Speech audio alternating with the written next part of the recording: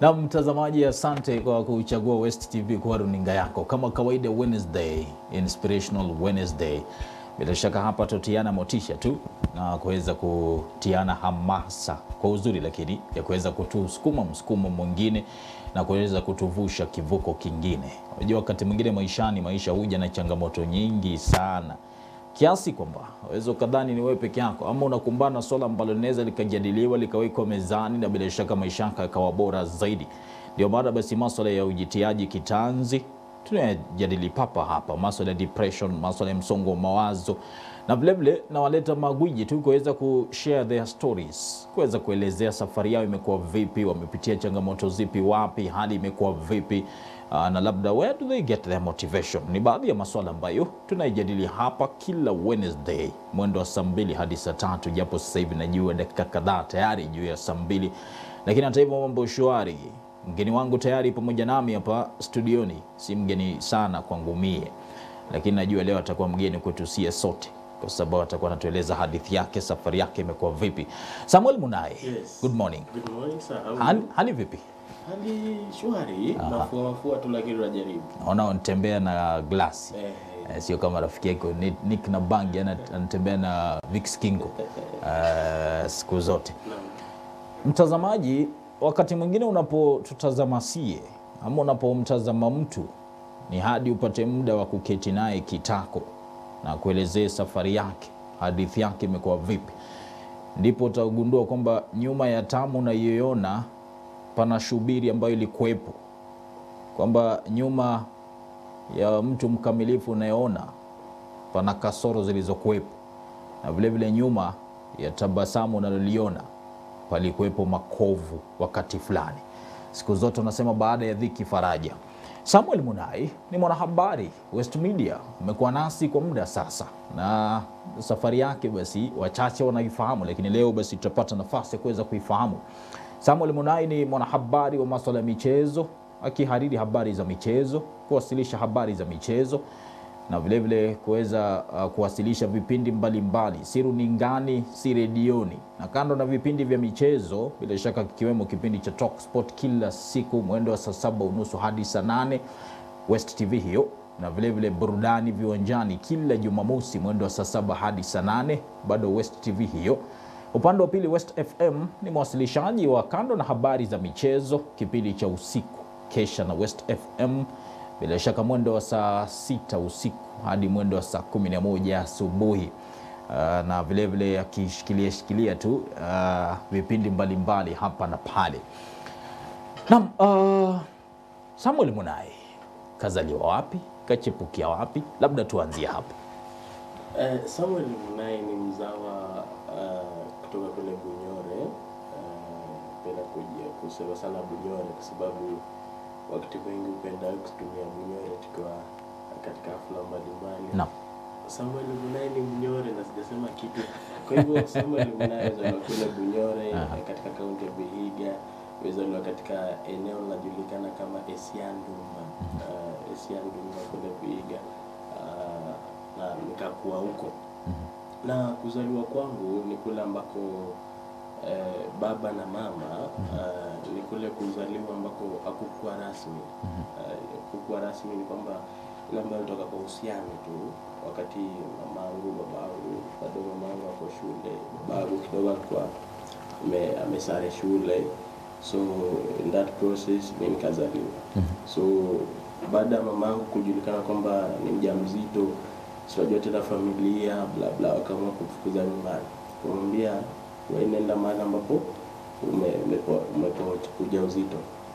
So ndo akakuja kwa baba kwa kina babangu, sasa ndo akaanza kuishi hapo. Mpaka kile kipindi mimi nazaliwa. Na kwa sababu uh, nilipatikana kwa ile njia ambayo haikuwa sahihi, haikuwa rasmi.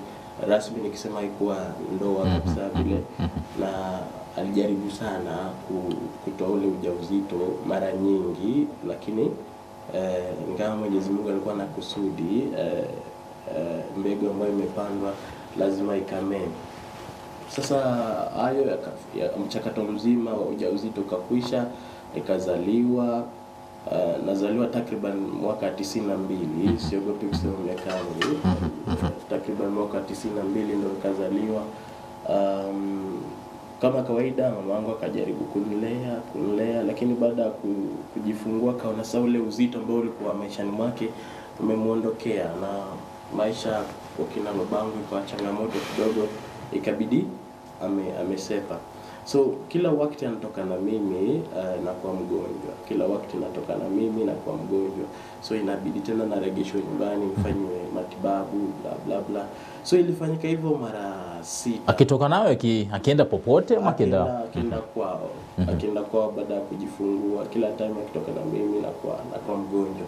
So ilifanyika hivyo mara saba na mara ya saba kabisa aka, akawa kama amechoka.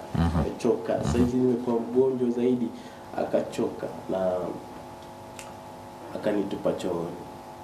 So kulitupa chooni uh, kuna mtu alikuwa ni kama mungu alipanga tu uh, kuna mtu alikuwa amepanga. Mamako wakati huo umri kama miaka mingapi? Takriban miaka kumi na tano. Aha kwa hivyo bado hajatimiza hata miaka kumi na minane. Aha. So uh, kwa sababu akanitupa uh, akanitupa chooni na yule mama fulani akawa anaenda msalani. Kufika kule akasikia mtoto alilia chooni so akapiga nduru mm. watu wakakula. una wakati huo una umri wa miaka kama mingapi ama miezi mingapi Nika na miezi saba miezi saba seven months kulingana na nilivyo hii Ulivyoarifiwa, hadithi naam. ambayo na na huyo mama Mm. so nikakuja nikatolewa wakamkalisha chini wakamwambia kama umechoka na mtoto si lazima umepeleka mtoto kwao akona nyanyake akona babake wanaweza take care of him Mm. so ndo waka, nyumbani nikaletwa nyumbani. So hivyo ndo mara ya mwisho mi na mamangu kuweza kuguzana mamangu aka kaenda zake mi nikabaki na nyanyangu na nyanyangu na babangu so changamoto ya babangu kwamba alikuwa mlevi zaidi. Alikuwa mlevi mlevi mlevi. Na nakumbuka siku moja alikuja nyumbani. Alikuwa mazoea kuja nyumbani kila siku amelewa. So kuna siku amekuja nyumbani naishi na nyanyangu na hakuwa ni mwanamke mwingine kwa hivyo akakuja nyumbani amelewa akagombana sana sana sana sana. Alikuwa yule mlevi wa vita. Sio tu yule mlevi wa kulewa na akuwa starehe Mhm. mlevi wa vita. So hiyo siku tulifukuzwa nyumbani kila mtu sasa ikaja kipindi fulani licha ya kuwa mlevi alikuwa dereva. Dereva hizi uh, uh, hizi gari za face me nakumbuka zile matatu za kitambo? Zilikuwa sana kule Kolomani, Lurambi, Kakamega. mnakana kuangaliana so uh, wakati anaendesha gari amemaliza kazi yake sasa anaenda kuegesha gari akagonga mtoto mdogo wa shule na kwa sababu ya ulevi akasimama. Kumbe amemgongea karibu na kwao. So watu wakaa wakatoka wakaja wakampiga wakampiga wakampiga uh, karibu wamuue lakini polisi wakakuja wakamuokoa wakampeleka hospitali lakini alikuwa ashavunjwa mguu. So baada ya kupona kidogo akafunguliwa mashtaka na familia ika- ikamanage kumchukulia bond so akawa anafanyia kesi nje. Lakini siku moja siku ya siku moja siku ya kifo chake anakuja nyumbani ameelewa kama kawaida ana anajaribu kuchechemea. Unajua sasa amepata jeraha la mguu. Akaniita alikuwa na mazoea ya kuniita kila siku nimpe maji. So ananiita nikampa maji akakunywa. Baada ya kunywa, hiyo ndo mara ya mwisho mimi kukutana naye. Mhm. Akafariki eh? nakuja nakutana naye kama maiti tena. So Wakati huo ulikuwa na miaka kama mingapi? Miaka minane wakati babangu anaaga dunia so sasa nikawa sina mama wala sina baba. Japo mama sikuwa namjua manake umri wa miaka- miezi saba huwezi huwezi jua kama ulikuwa na mama hapa ama hapana. Sasa yule mzazi mwenye nilikuwa namjua tayari ameaga. Nikakuwa nimebaki na nyanyangu. So nyanyangu tukang'ang'ana tukang'ang'ana tukang'ang'ana. But kitu chenye nyanyangu alikuwa najua ni chakula peke yake. Chakula labda na shelter, makazi mambo na mavazi mambo na nini ah so ikakujika ikakuja ika- ika- ikaruka hivyo ikafika nikawa na umri miaka kumi na nne. Kuna mama fulani rafiki ya nyanyangu walikuwa ametoka kanisani. Ni jumapili moja hivi anakuja anapata niko uchi Yupo yupo huyo rafiki? Yupo anaitwa Roslan uh, anaitwa Roslan Ayeko yanamkumbuka sana. Akaja japo mgonjwa siku hizi watembei akaja akasema eh, huyu mwanamume mzima mbona ana nguo miaka kumi na minne miaka kumi na minne. wakaa uchi tu Eh, ati ati ana pesa ya kununua nguo. Nakumbuka katoka, alikuwa anafanya biashara ya kuuza ndizi. Uh, siku iliyofuatia akapitia nyumbani akanipa nguo uh, vinyasa viwili na shati mbili. So nilipoona zile nguo zilikuwa zinafanana na uniform ya Isiandumba Primary School. So nilipoona zile nguo nikawa na uchu. Kwa hivyo 14 years bado hujakwenda shuleni. Sijaenda shuleni, hakuna mtu amenipeleka shule, japo mimi mwenyewe nilikuwa na najaribu kuandika andika chini bla bla abcd I could say abcd mpaka z. Mm. ile ya, ya labda unacheza na wenzako Yeah, na kadhalika. three, mpaka 100 so ikawa sija kwenda shule. So wakati nilipopata zile nguo mwaka elfu mbili kumi na s- uh, mwaka elfu mbili na sita nikawa na ucho kwenda shule kitu kaanza tu burning desire you have to go to school you have to go to school but manake shule ilikuwa bure Okay, wakati wa enzi yake Kibaki mambo yalikuwa bure bure bure ni kutafuta uniform na kwenda shule vitu vingine mtakuwa kula Shikilia hapo hapo. mtazamaji. Mtazamaji, Samuel Munai, wengine wanamfahamu kama Samuel Oyondi, ni mojawapo wa watu ambao wana busara sana. Nimewahi kutana nao uh, kwa miaka hii yote ambayo nimekuwa nikiishi. Ikija kwa masuala ya hapa, usimwone hivyo Samuel Munai, kama uamini, sikiza hii sehemu. Ehe. -hmm. Sasa wakati uh, nikaja kuwa na ile aja kwenda shule, kuna ndugu ya babangu mdogo alikuwa anafanya biashara kuuza nguruwe Luanda, anajulikana kama Jackson Amkoa Munai. Kuuza nguruwe. Nguru Oh, sukari guru. Ile- Okay. ile Eh, yes. Yes, ile, yes. So nikamwambia naomba ununulie vitabu vitabu vitano na kalamu, na sitaki penseli, nataka kalamu ya wino. Yupo sasa? Ye, yuko lakini hafanyi biashara siku hizi ako Mombasa. Ah, akasikia akasikia ule mwito jioni, akanikuja na vitabu vitano, nakumbuka ni 100 page, 120 pages na eh, wakati huo sasa ndo prestige ndo kitabu kizuri eh. mm -hmm. Sasa ndo nikaenda shule kaingia kwa ofisi ya madam Siandumba sasa. Headmistress, eh. Maanake Siandumba was uh, just a walking distance I'm five minutes hivi kwa shule so nikaingia uh, full of energy eh, kaniuliza kijana tusaidie vipi nikamwambia mi nitaka kusoma kaniuliza mbona hujakuja na mzazi Nikamwambia, "Mi sina- Kijana amevaa nguo mara ya kwanza na nguo imempeleka shule. sina mzazi. Akaniambia ah, sasa umekuja kusoma kivipi? Nikamwambia mimi nimekuja kusoma sijawahi na shule ndio mara ya kwanza nataka kusoma. Akaniambia okay una umri wa miaka mingapi? Nikamwambia niko na umri wa miaka kumi na eh, ki- ki- kidogo tu nitakuwa nafika umri wa miaka kumi na tano. Akaniambia sasa wewe kuweka wapi? Wewe tayari ni mzee. Nikamwambia nike class 4 Naam.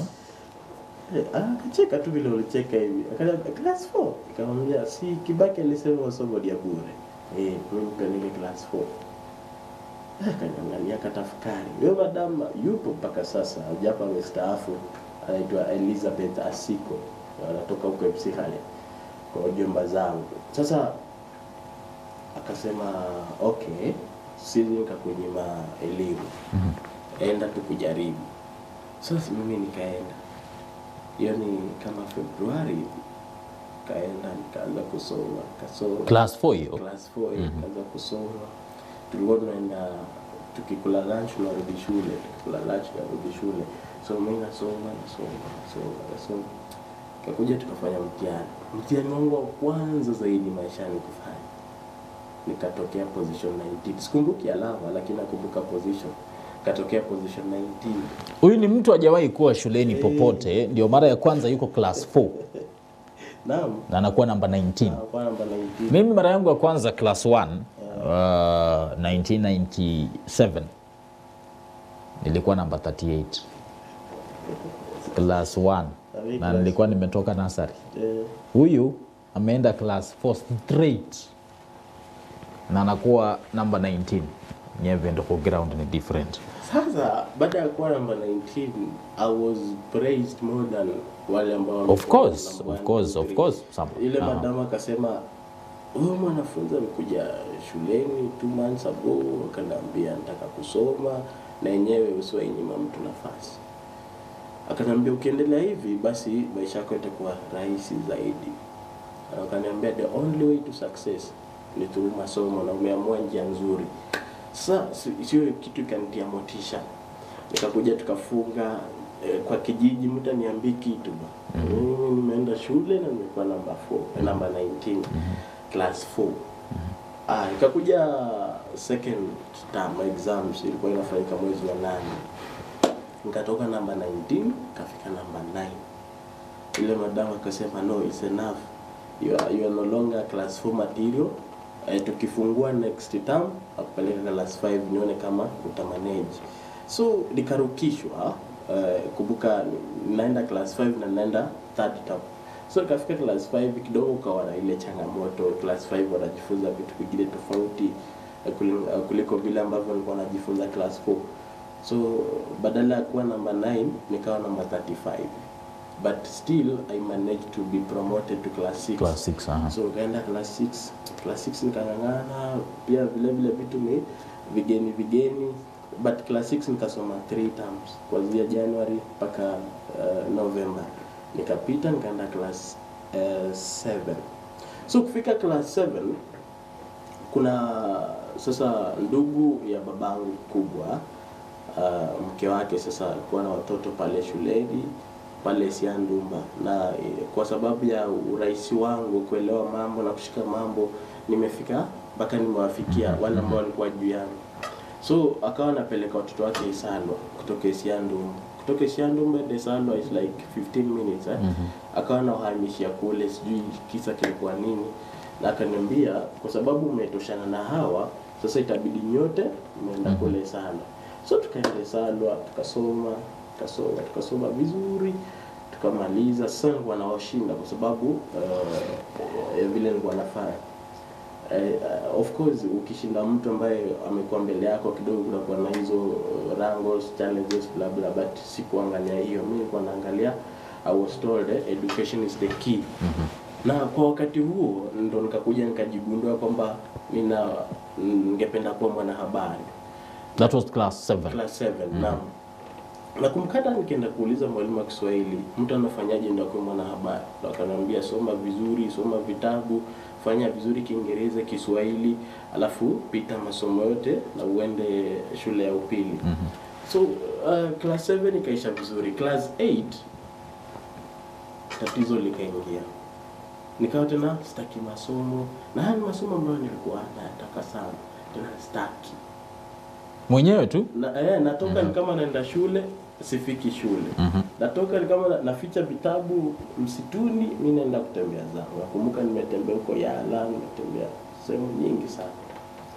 So ikafika time ya kufanya usajili wa wanafunzi ambao watakalia mtihani wa darasa la nane ikawa sipo. Yule ndugu yangu mwingine akaulizwa wape ndugu yako? Kwa sababu alikuwa anajua si mandugu mwambie huyu alitoweka hata iko nyumbani so hivyo ndo sikusajili mtihani mwaka huu mwaka elfu mbili na nane. Ika ikapotea hivyo hiyo nafasi ikapotea hivyo. Sasa nyanyangu wakati nakataa kwenda shule nakumbuka kaniambia, iwapo uendi shule utaishi na mimi hapa. So na mimi wakati huo kwa sababu mimi ni mtu mkubwa nilikuwa na, naenda nalimbia watu ah, nakaona maisha iko tu sawa bora ukule bla bla Mhm. Unalima kidogo unapata pesa kidogo hapa na pale. Mhm. unaenda kwa hoteli unakula na maisha inasoma Ukaanza kuishi wapi sasa? sasa akanifukuza kwa nyumba na ikabidi sasa hakuna mtu mwingine ambaye anaweza ni accommodate sijui mtu yote eh, wale watu wako ka, ka, karibu nami wanagopa nyangu hawezi kubali ku uh, kuni accommodate ikawa na naishi chooni Eh? eh, naishi chooni kuna choo nyingine ilikuwa hapo kwa jirani walikuwa wamehama wamejenga tu vizuri eh, choo ya permanent na wakahama so hapo ndio ilikuwa makazi yangu. Nakumbuka nenda kwa nyumba nikaiba blanketi na ndio nilikuwa najifunika. So uliishi hapo kwa muda gani? nikaishi hapo nikaishi hapo kuanzia mwezi wa pili hadi mwezi wa sita. Takriban miezi minne. Mhm. ndo siku moja nikawa nalala. Nika kitu kikanijia akilini so nataka kuwa mwanahabari utakuwaje mwanahabari kama uko hapa chooni? No, you have to go back to school. Tena mi mwenyewe nikaamka nikarudi kwa yule yule mwenye alinunulia vitabu mara ya kwanza. Nikamwambia, naomba ukirudi jioni umrudie na vitabu vitano. Nataka kurudi shuleni. Naye pia alikuwa mkarimu, akafanya hivyo, akaninunulia, nikaenda shule. Kufika shule, kumbuka yule headmistress ambaye ni mwalimu mkuu ambaye alinikaribisha mara ya kwanza, ndio huyo huyo ambaye amepelekwa transfer sana, na ndio huyo huyo ambaye alikuwa anafanya hivyo vitu vyote, nikafukuzwa. So nikaenda tena kwa ofisi yake, kile umsasa wake tsarani kahuya eh, kupenda kuendelea masomo. Kanaambia hapana, sikupi na nafasi. Tulikupa nafasi ukachezea, so wewe enda uoe, na hata angalia ndugu yako imechakaa, una utaoa msichana wa nani? Hiyo kitu iliniuma. Nikarudi nyumbani, nikakutana na kuhu, nikamwambia kuhu, asiko usuye so kuhu akaniambia eh, si wewe mwenyewe ndio ulikataa. But akarudi kwake pia akafanya juhudi akarudi mm -hmm. kwake. Rudi kwake asiko akamwambia msiani yule akachate eh, amekataa kusoma. Aenda wewe sasa. eh, but akamwambia hapana nisaidie kupata transfer nimrudishe Siandungu akampatia akampatia kibali. So nikarudi siandu. Kurudi kwenda kuuliza nafasi pale siandu masanya nyanyangu ndo nauliza. Akaambiwa uh, kuna kuna mwalimu fulani jirani yangu alikuwa anaitwa Lydia Hamisi jirani yangu. So alikuwa anajua kile ambacho kilikuwa kinaendelea. Akaenda akatema huko sumu akasema huyu kijana ni mbaya kijana ni gaidi akikuja hapa taribu watoto. wengine so yule headmaster anaitwa Oseo Sambo aka- akashangaa sana tafanyaje na mtoto amekuja nyanya yake amekuja amelia hapa. Wacha tu nimpatie mtihani anguke alafu tumwambie ume, umeanguka uwezi endelea kusoma hapa. Nikapua mtihani. Mtihani nikafanya nikapita. Sasa wakuwa na any other choice. Wakaniadmit class 7 hiyo ni mwezi wa saba hivi so ikakuja mtihani kafanya uh, sasa kufanya na watu, wa, wanafunzi wengine ila kufunga muhula nikafanya nikapita. Tukawa tu vizuri maisha ikaendelea sasa ikarudi tena kwa system.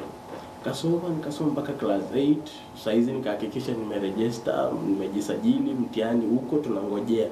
Sasa ikafika time tena ikaanza kusumbua sumbua. Basi nilikuwa nasumbua narudi nasumbua narudi. Nakaa siku mbili nyumbani narudi nasoma. Nasoma siku tatu nyingine napotea but walinielewa na nikawa tu nang'ang'ana ng'ang'ana ng'ang'ana hivyo. Sasa ikafika time ya kufanya KCP one week to KCP hiyo ni Tuesday na KCP iko next Tuesday. Tukawa tunapiga mazoezi ya zile nyimbo ambazo tutaimba kwa prayer day ya maombi. Mwalimu fulani akasema tu Oyondi ndio group you're not singing and then kule nje mpige magoti Which I can suspect indeed you are not singing kwa sababu ya historia yako vile umeelezea. now No, that time we were singing. uh. I doubt. So, eh, tukafukuzwa. Unless you are singing.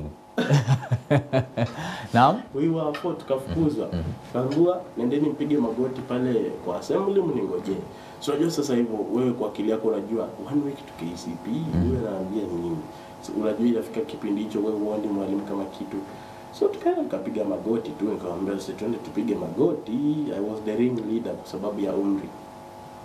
So tukapiga magoti hapo kidogo, mvua ikaanza kunyesha, sijui mvua ilitokea wapi. Tukasema tutakaa hapa tunyeshewe? Hapana, unless sisi ni wajinga. Tukatoka tukaenda tukajikinga kwa darasa lingine, hapo lilikuwa bure. Tukakaa hapo tukakaa hapo, huyo mwalimu akapiga macho nje hivi, akutuona, akapiga tena akutuona. So ikafika wakati wa chakula cha mchana, tulikuwa tunakunywa uji eh, akakuja akatutoa kwa line akasema, nyinyi vijana wanne niliwapa punishment mpige magoti pale, mkakataa. You are not taking this porridge. Mimi nikaambia wazee, wazee wazee, unaona kwetu ni pale. Mimi naenda nyumbani nipike kitu nikule. Njaa my friend, singeweza kukaa njaa. So nikaenda nyumbani ka- kapiga ugali wangu vizuri, kapiga maji nikaa niko poa. So ikaambia wazee, tutarudi games, hatuwezi rudi hii time nyingine tutafu- tuta tutajipata kwa shida. So kufika games tukakuta mwalimu mwingine alikuwa anatufunza CRE anaitwa Ayua. Ayua kawa ni mtu ambaye alikuwa anakaa darasani. Ukiingia darasani saa nane atatoka saa kumi na mbili.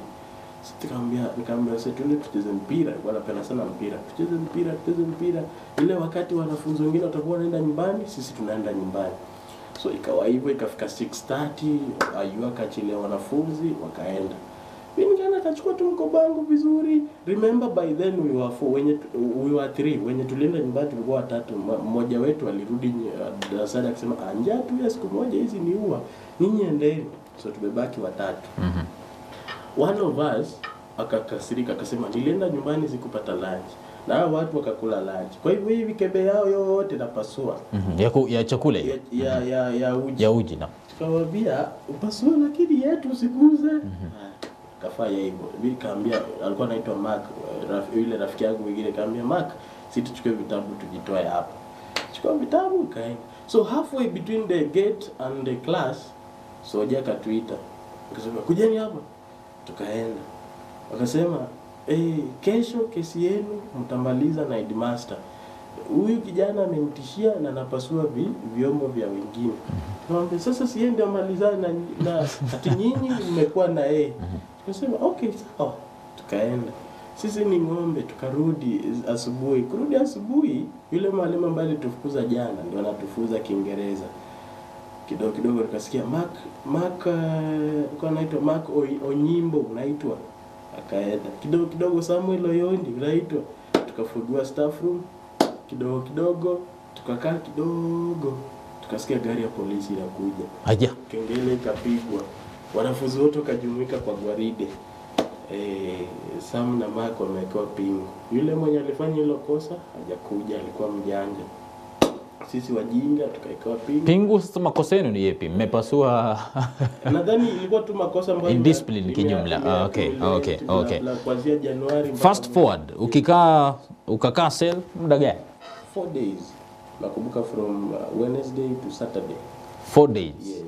And lucky for the other guy, wazazi wake walikuwa na pesa bla bla, waka- wakamkujia. Mimi nani anikujie? Hata kuja kuangalia tu hivi hakuna. So nakumbuka nyanyangu, nakumbuka sauti ya nyanyangu Friday. Friday jioni akisema mnitolee mtoto, mtoto ni mwanafunzi, ako karibu kukalia mtiani But ukamwambia kuja kesho, saizi OCS hayuko. Akakuja kesho yake ndo nikatolewa. Hiyo ni Sunday. Nikaenda nikakaa it was a terrible experience very terrible not just terrible very kwa sababu pale ndani but it changed me all those indisciplines ziliishia hapo. You have to go through something no, vitu viishe. So viliishia hapo hapo hapo. So mi nikatoka hapo kama another guy. Nikatoka hapo nikasema never will i return here never will i be in discipline again na nikaomba mungu nijalie niweze kupita mtihani niendeleze ndoto yangu ya kuwa mwanahabari Uh, fast forward uh, naona muda wakimbia. Umefanya mtihani wa kitaifa wa darasa la nane umepita natumai. Uh, sasa imefikia wakati wa kwenda shule ya upili. mm -hmm. Twende hapo shule ya upili kidogo. Uh, shule ya upili uh, nilienda kwa sababu mamangu mamangu baada ya kusikia nimefanya mtihani akakuja akakuja so uh, niko tu natembea tembea narudi nyumbani. Wakati huo ulikuwa umejua stori yako ama stori yako ulijua baadaye? sikuwa najua. Mm -hmm. sasa kuna wakati natembea narudi nyumbani. Mimi ni mtu wa mama. Mama fulani akanisimamisha akaniambia hey, kuna mgeni nyumbani na mgeni ni mama yako amevaa hivi hivi sasa ni biasiri so mi nikaenda kama najua kafika nyanyangu akaniambia uko na mgeni bla bla bla. So akawa ni mamangu. Mamangu akaniambia e, kesho uh, naomba niende naye Mombasa kidogo tu tukakae bla bla bla. So nikakubali. Na after all nani anaweza kataa kwenda Mombasa?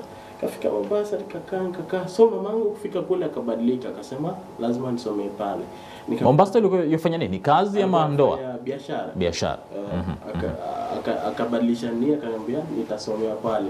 Nikamwambia pana I'll rather not go to school. I have to go back home where I know. Wewe mtu nimekutana naye juzi how can I trust you? Namwambia hivyo kwa sababu mimi ni mtu mkubwa. Saa hizo na umri miaka takriban kumi na minane.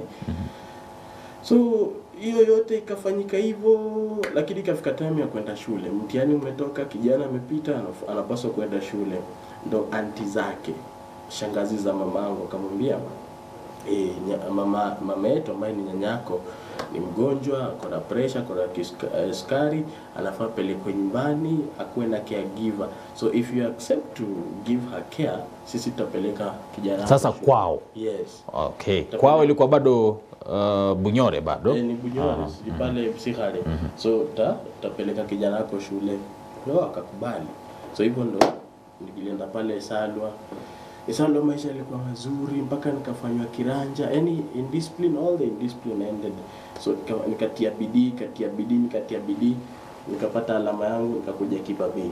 Kukuja Kibabii. Kibabii University. Yes, first year, second year. Mwaka gani? Kibabii umekuja 2014. lini? 2014. Aha. yeah. Maisha ikawa mazuri tu, first year nikafanywa shopping. Bado wana wanafadhili elimu yako wale anti za mamako wale. Sasa heaven broke loose wakati mamangu alikosana na anti zake, sijui sababu, sijajua mpaka leo. Wale nao kasitisha ufadhi Sasa ikawa Munai uh, Samuel umesoma mpaka second year. mm -hmm Hizi miaka nyingine mbili hatujui itakuwaje. Lakini mimi nikawa mtu ambaye uh, niko na hope, niko na imani, niko na matumaini ya kwamba lazima siku moja lazima niwe mwanahabari. Nimefika nusu, Mungu nijalie nimalize hii nusu nyingine. Ikawa siku difa, sikuenda ati ni difa but kuna mwalimu fulani anajulikana kama Kennedy Simiyu, saizi daktari. Nikamwambia shida zangu zote, akawa anaelewa, akanambia usidifae, wewe soma, fanya miti, eh, fanya chenye unaweza, si ni mtihani tu peke yake ndio atakunyima, lakini mambo mengine utafanya. So ikafika wakati wa kwenda attachment, masomo ya nyanjani. Uh, that is fourth year. Kumbuka sijaifanya exam third year na fourth year yote. Akanambia, "Hey, Oyondi, unaenda wapi attachment?" Nikamwambia, uh, "Mwalimu, sasa mimi nitaenda attachment na unajua zidi yao." Akaniambia, "Hapana, wewe ni mzuri na ni mimi tu na wewe ndo tunajua wewe ni mzuri, hakuna mtu mwingine anayejua.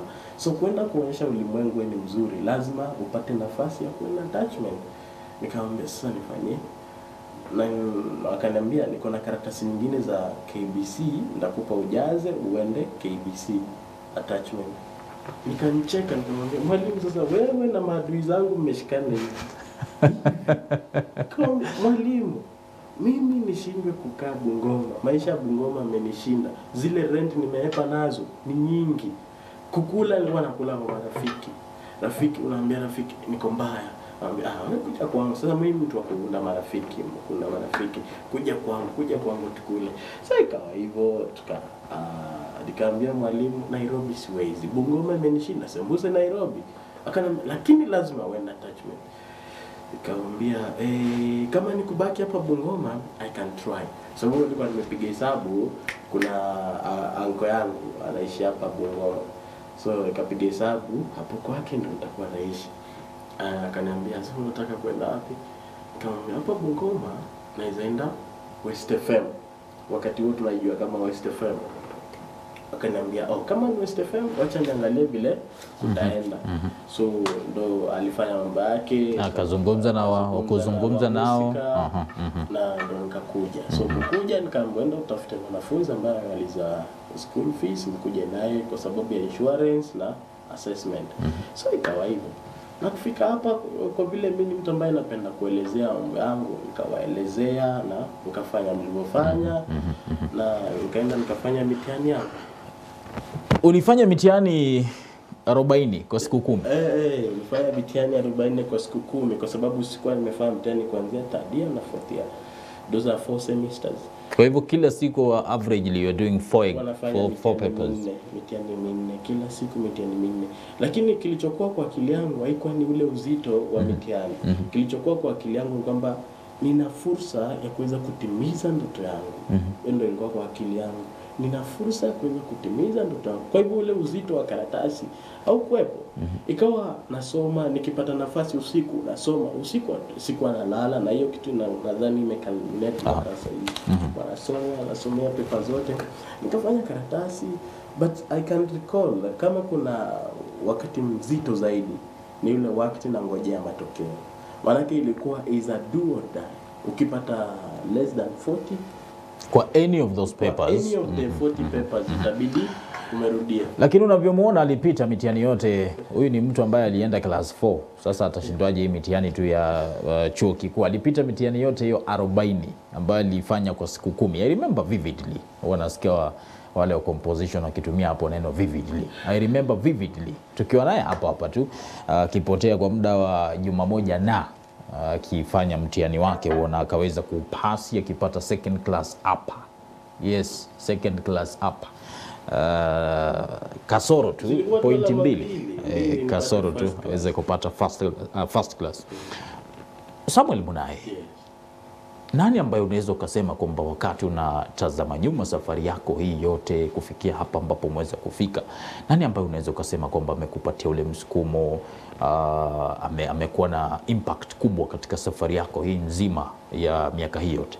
Kuna watu wengi, maanake hii safari sijaifanikisha peke yangu. Nitadanganya nikisema nimeifanikisha peke yangu. Pana watu wengi, lakini uh, kuna uh, watu wawili ama watatu ningependa kuzungumzia. Mmoja, uh, the biggest of them all ni nyanyangu, maanake yeye ndo alijua utoto wangu, yeye ndo alinilea na yeye ndo amenisukuma, amenipatia huo msukumo, na naomba Mungu anijalie niweze angalau hizi siku kadhaa ambazo amebaki nazo ulimwenguni niweze kujaribu kuregesha mkono, lakini najua siwezi regesha yale mtu ambayo ameweza kunifanyia, manake kukosa mama, lakini Aka step in. Wa pili? Wa pili basi ni mimi mwenyewe. Manake nilikuwa na ule msukumo. There is something within me. Hata ni, wakati nilikuwa na, nafanya discipline cases ni mimi mwenyewe nilikuwa najiita mkutano uh, najiambia uh, wewe unafaa ufanye hivi unafaa ufanye hivi. Mtu mwingine ndio kuna watu waliniongelesha lakini wakati najiongelesha mimi mwenyewe Inakuwa- uh, vizuri Kuna wale watu ambao walifanya ukawa na mafunda moyoni na kadhalika. Uh, have you learned to let, the, to let go? Ama kuna watu bado unahisi kwamba una uzito sana na, na, na nao moyoni? Akiwemo your mom. Uh, of course unapoambiwa story kama hizo kwamba alijaribu kukuavya ndani ya choo na kadhalika they are not so pleasant uh, na labda inawezekana kwamba ukawa na, na, na hasira fulani. Have you let, let go Eh, eh, na, na najifunza najifunza kutoka kwa Biblia kwamba kama kuna kitu kizuri ni kusamehe, maanake usiposamehe unadhani umewafungia wale, kumbe umejifungia wewe mwenyewe. Kwa hivyo uh, kwa mama yangu mimi sina lolote na sina chochote dhidi yake, na sidhani kama najua najua story story, unajua niliambiwa na mtu ambaye sio yeye, kwa hivyo sijui kama najua kama najua kama natazama ndo amejua leo ya kwamba najua. Hujawahi mwambia? Sijawahi na sidhani kama nitawahi mwambia manake na, na, naelewa kwamba alikuwa na sababu zake za kufanya hivyo kipindi hicho ni mtoto mdogo alafu anapata hizo frustration. Kwa hivyo na, na, naelewa kisi fulani. Nimekuja kuelewa kwa sababu gani alifanya hivyo. Kwa hivyo uh, na kuna baadhi ya watu kama huyo ndugu yangu alivyonifanyia bla bla bla. Lakini una learn kuforgive ukiforgive ndo wewe pia mwenyewe utapata uhuru wa kuwa uh, kuassociate vizuri nao. Na hivi leo mimi huwa na ndoto moja. Pale nyumbani kwetu nataka nihakikishe kila mtu amesoma. Unfortunately ni mimi peke yangu ambaye nimeenda past form 4 so nataka nihakikisha kwamba wale watu but you're the only uh, son of, of your parents? Yeah, I'm the Uh-huh. only the son- only child actually. the, the only uh, child. Mm maanake mamangu hakuenda tena ku, kupata mtoto mwingine babangu naye kupata mtoto mwingine kabla ya kifo chake. Kwa hivyo ni mimi peke yangu. Lakini bado kuna wale ambao extended family. Mm -hmm. naam. Eh, nafaa nihakikisha kwamba wao pia wa- yule ambaye ana uchu na kiu cha kusoma anapata masomo kama mimi nilivyopata Uh, kwa dakika moja tunakuona wapi kesho kesho kutwa unapopiga darubini pale mbele. Uh, unajitamani uweze kujiona wapi kesho kesho kutwa mwenyezi mungu akiridhia? Eh, Mwenyezi Mungu akiridhia, basi mimi mtu ambaye nina maono. uh, historia yangu yote ime, ime, imeelekezwa na maono, na maono yangu ni kuweza kuhakikisha kwamba si tu kwetu, lakini taifa zima na naleta dhana fulani, maanake ndio nia yangu ya kuwa mwanahabari, kuweza kuleta dhana fulani, na utaangalia hata zile story ambazo mimi ni story ambazo zinalenga kuleta dhana fulani, story ambazo zinalenga kuinua yule mnyonge, story ambazo unaweza unaweza. Ukiangalia hata ninapofanya timu ndogo ndogo, najaribu kuzipa, mnaweza fika pale ambapo wale wengine wapo. Kwa hivyo hilo ndo ombi langu. Ombi langu si uh, self actualization actually, ombi langu kuhakikisha kwamba yule ambaye ana nafasi na anataka ana uchu wa kupata chochote basi anapata. Regardless of the circumstances uh, uh, bila kujali mazingira ambayo umekulia bila kujali vile vitu ambavyo vinakuzuia. Na vile ambavyo vinakuzuia leo vinakupa hadithi nzuri kesho. Naamini ya kwamba iwapo nitaandika kitabu cha uh, cha hadithi yangu basi itauza sana. Maanake itakuwa ni hadithi ambayo inatia mtu kesho. Kwa hivyo hivyo vigingi vyote ambavyo mtu anapitia ni vigingi ambavyo they are meant to make your testimony the sweetest. Mhm. Vile vigingi ambavyo unapitia they only meant to make your, to make your testimony the sweetest.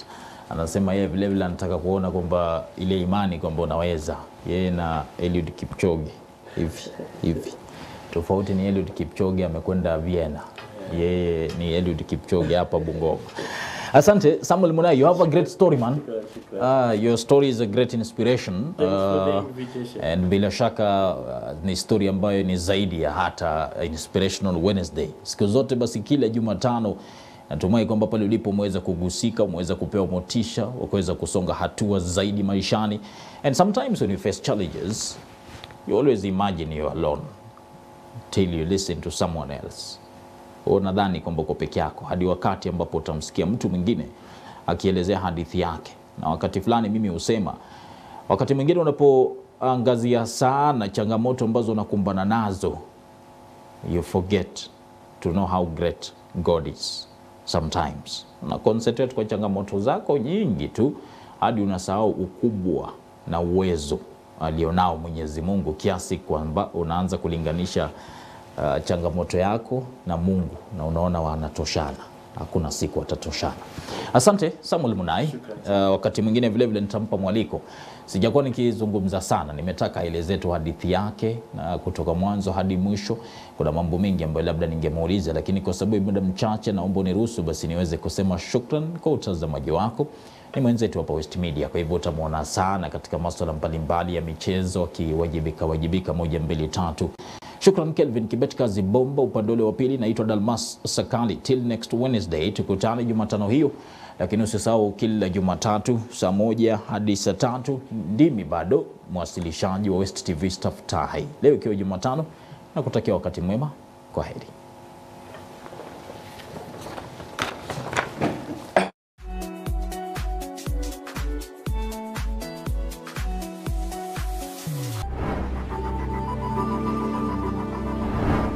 TV, tazama ilivyo.